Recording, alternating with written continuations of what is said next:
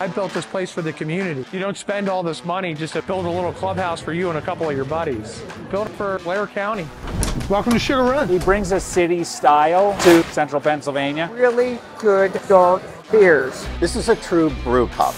Brews beer here, you see it being brewed here. I brewed our pale ale recipe 125 times in a row to dial in what I think is our best beer. Cheers to Sugar Run.